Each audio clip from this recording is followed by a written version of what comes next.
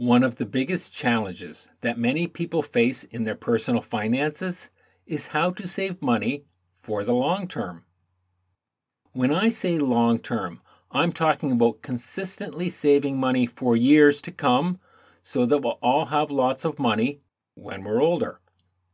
The problem is when most people try to save, they do it backwards. Let me explain. Here's how most people try to save money. Number one, they earn income and get paid. Two, they pay their bills. Three, they go about their day to day spending. And then four, they try to save something for their future with whatever money is left over. The problem is there's never any money left over.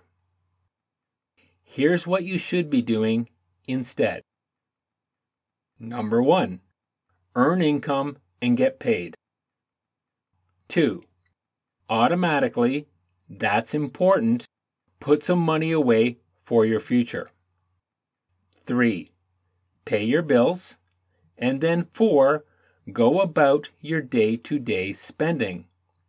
In other words, you should pay yourself first. What's important is that it happens automatically on payday before you have a chance to spend that money. Most people are genuinely surprised by just how little they miss the money if they give themselves some time to adapt and by just how much money can grow over time through the incredible power of compound interest.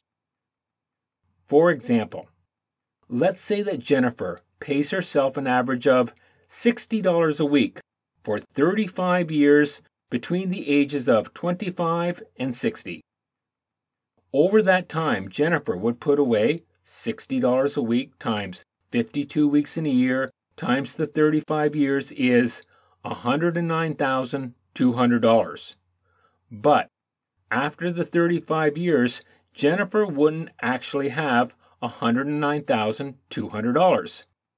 If she earns an average of 7% interest annually, Jennifer would end up with over $500,000.